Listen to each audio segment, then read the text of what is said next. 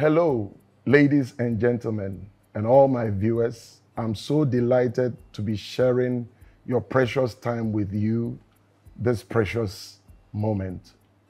Well, have you heard of how I came to the anointed conference with Bishop Dag Heward Mills, who is the convener? It used to be Give Thyself Holy Conference. If you have not heard, I have good news for you this precious moment.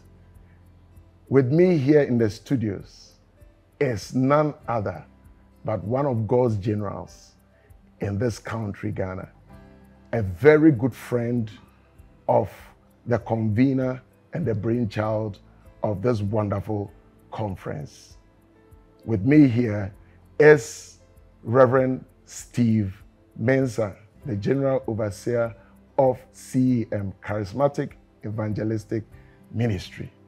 Reverend Steve, you are welcome. Thank you, thank you, thank you. I'm really, really delighted to have you in my studios. I'm delighted to, to be here. I'm Thank you blessed to be very, very Uh, much for honoring our invite. Thanks, thanks, thanks. I'm very happy. Reverend Steve, Yeah. how I came to be anointed is right here. Okay. Um, it used to be formerly Give Thyself Holy Conference. Um, I want to find out what is the expectation? What are your expectations? I think that uh, I'm not expecting anything overly different because since the beginning of this conference, it started like 2004.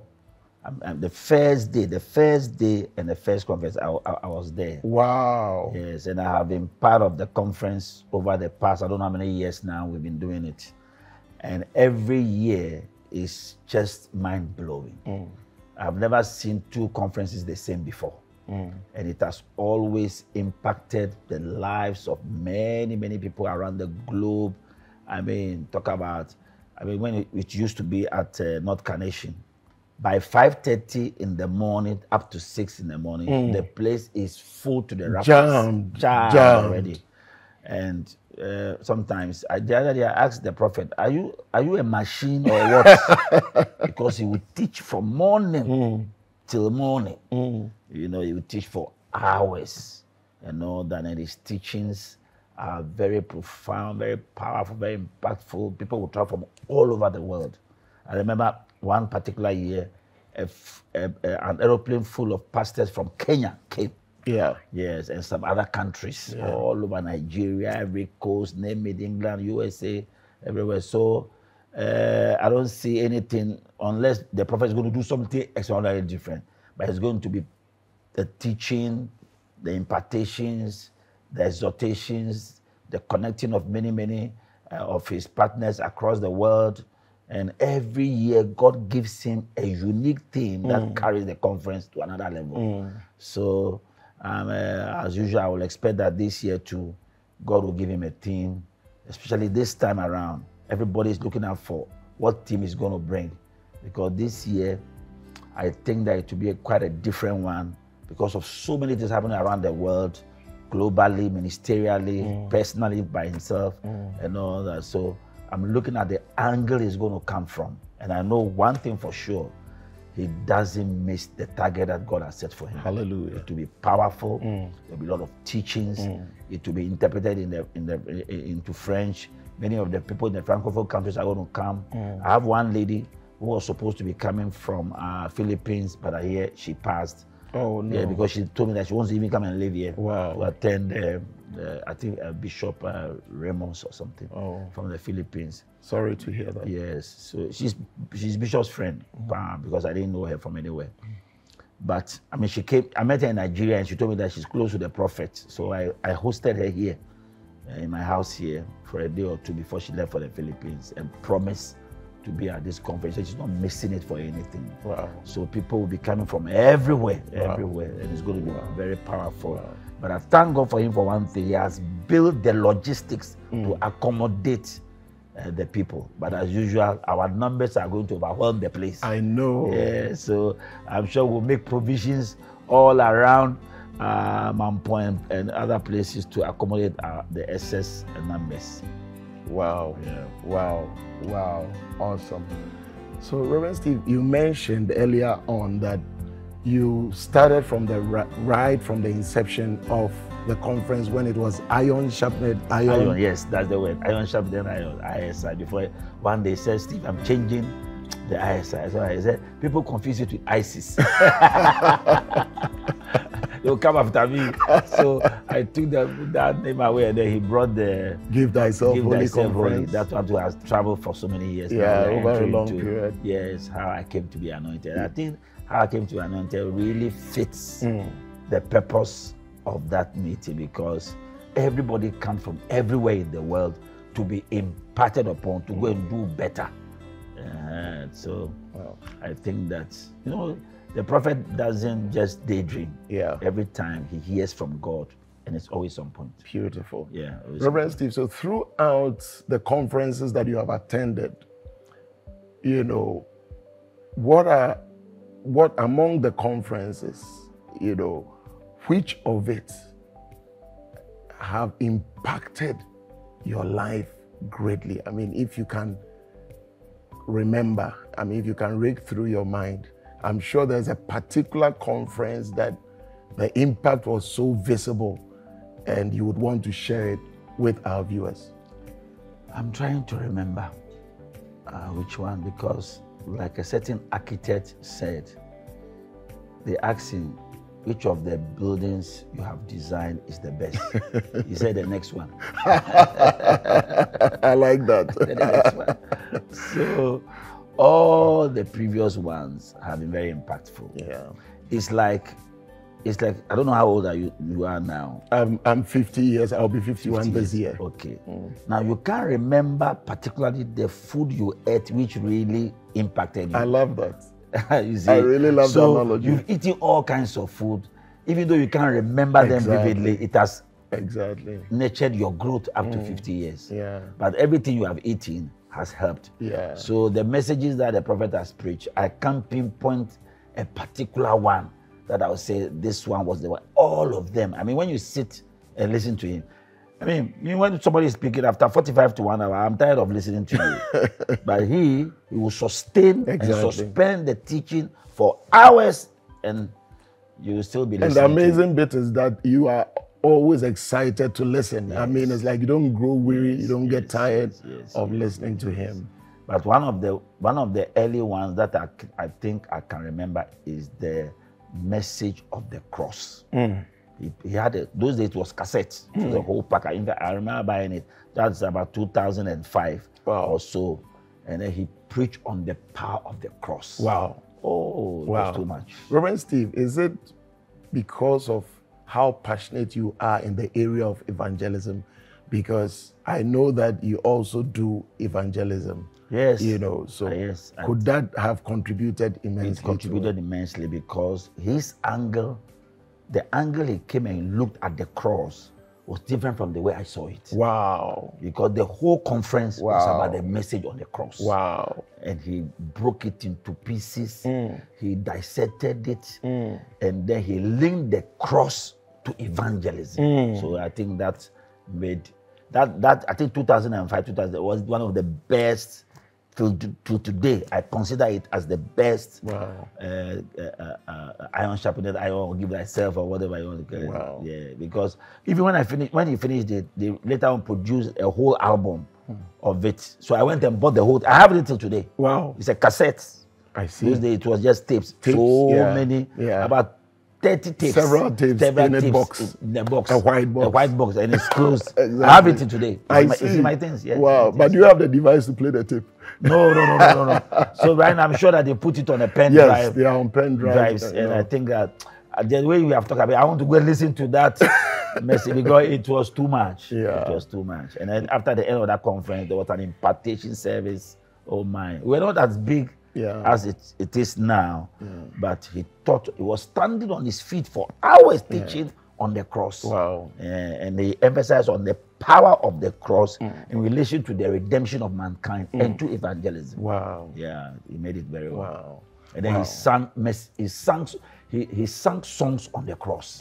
Um, all, most of the songs that were raised in that conference were all, all songs by Andraé Crouch and all those people. All the songs that he knows about the cross was sung during that conference. So, you know, because the cross is our redemptive image.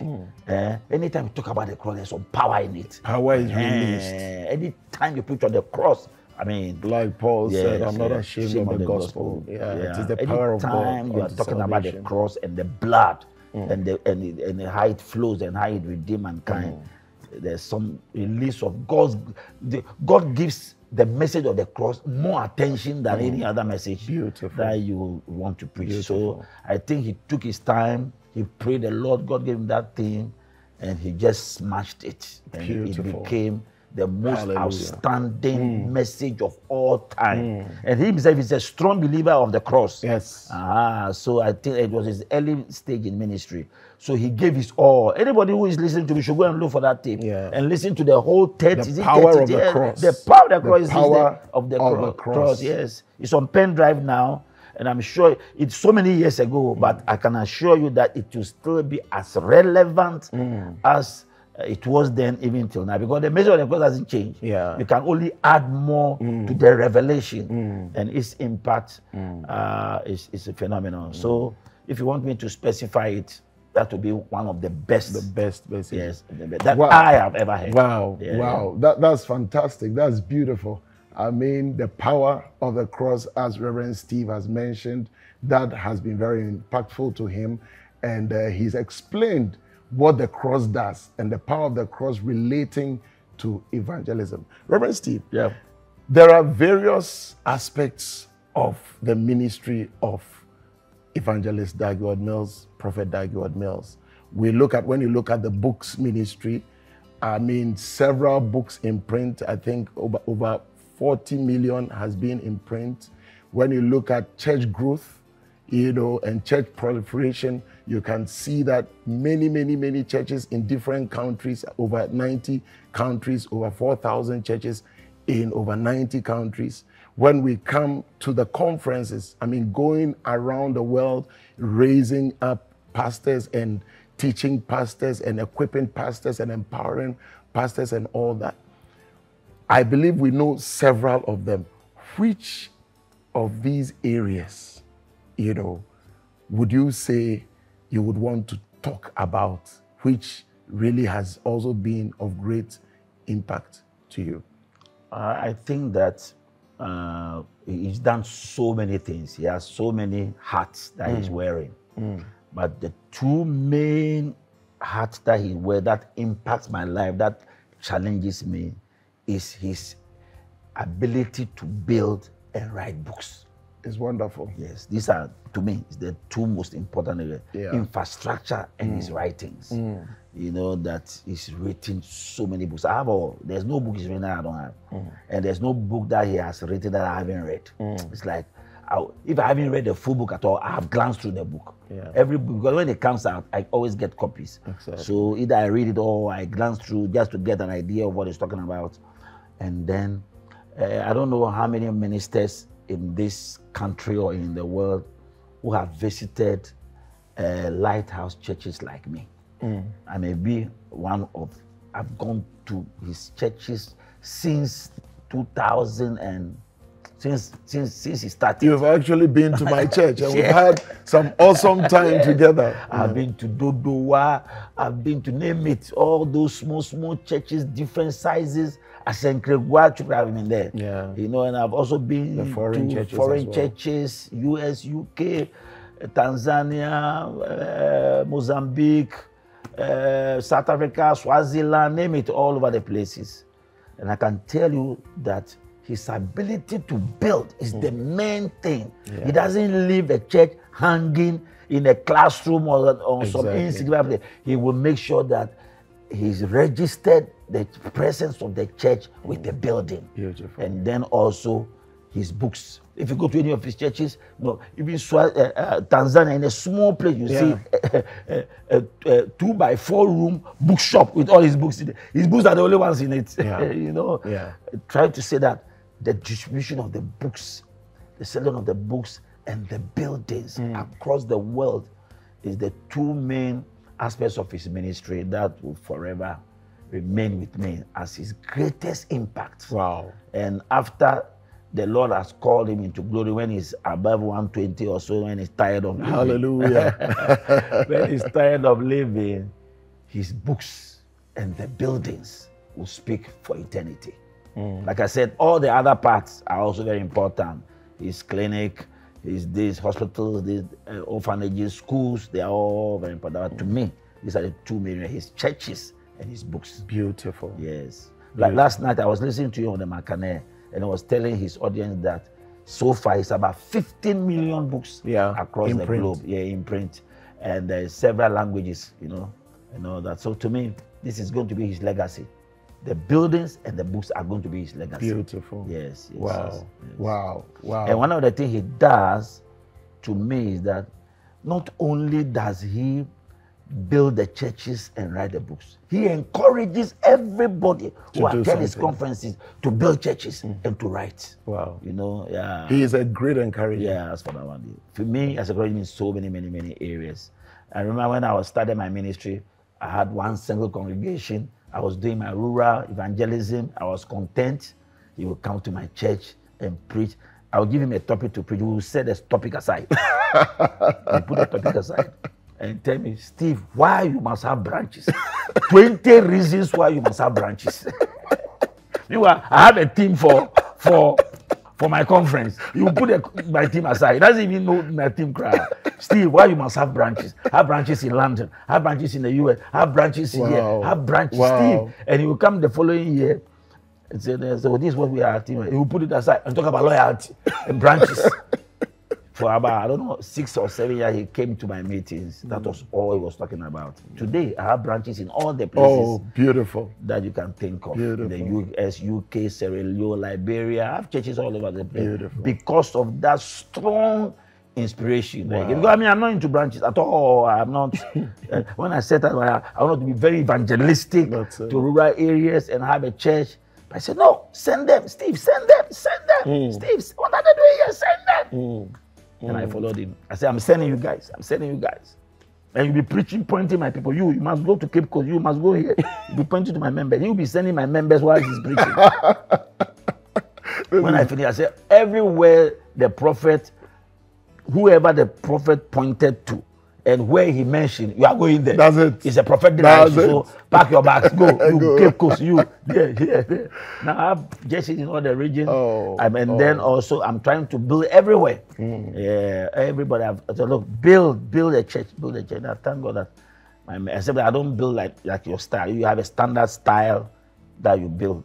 And from a- any design you come up with that fits your area. That's it. Wow. it's- yeah. yeah. Wow.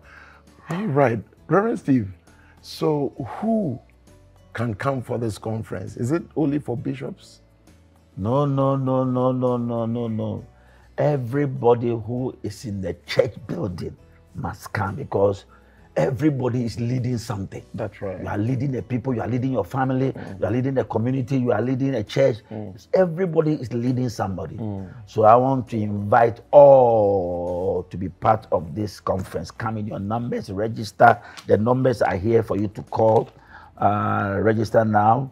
Uh, it's Give Thyself Holy Conference. The contact numbers are plus 233 599 776767. I'm sure it's be rolling on the screen as I speak now. Call this number and register and attend, and your life will never, never, never, never be the same. I have been part of the conference from day one till date, and this one also, I'll be there. Yeah. Uh, the dates are out already. Fortunately, I'm in the country. Yeah. So Please, the dates are out. What, what, what? I what think the dates are second, to the fifth, to the fifth of uh, August, August. Yes, 2022. 2022.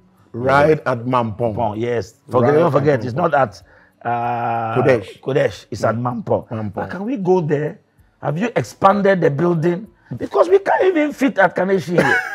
we don't fit here. So we are going to be in all kinds of Halls. halls and things. Well, It's always been awesome. It's always been fantastic, you know. Yes, yes, Yeah. yes, So like Reverend, like Reverend Steve said, it's coming up at Anagkazo campus from the 2nd to the 5th of August 2022. You cannot afford to miss. You don't have to miss this conference. It's a conference for you. If you are a pastor, please, I want to encourage you, encourage your church workers, encourage your elders, encourage your leaders, encourage even your ordinary church members, because this conference will be impactful on their lives.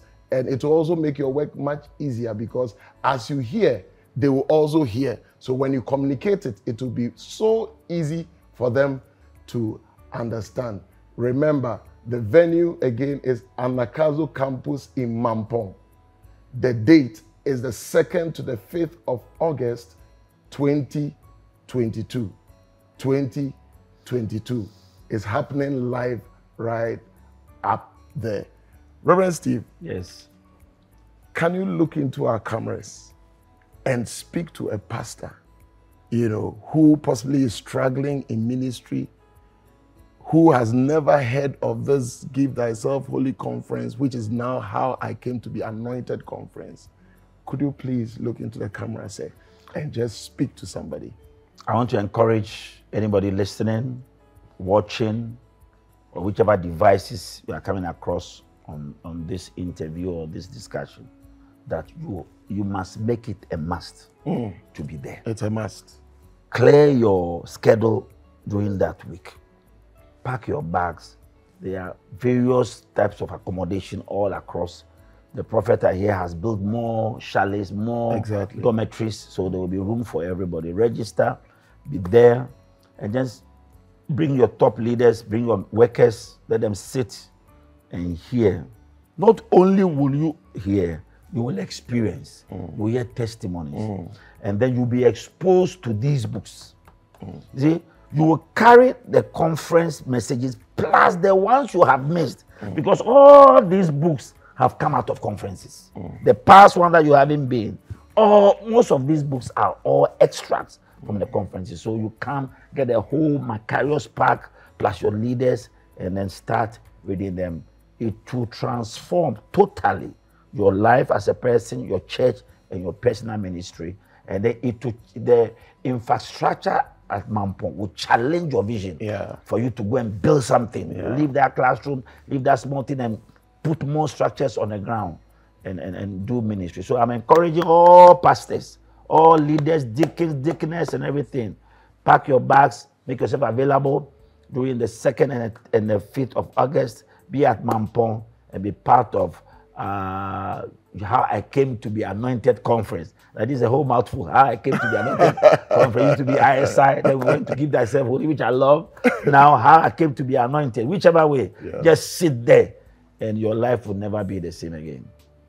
Reverend Steve, I cannot thank you enough for this precious moment we've had with you. It's okay. been an awesome and a riveting time. Dear viewers, I think you've heard it all. It's coming off live from the 2nd to the 5th of August 2022 at Mampong. How I Came to Be Anointed Conference. You cannot miss it for all the rise in China. This is all time will allow us until we come your way again. Stay favored Stay blessed. Bye bye.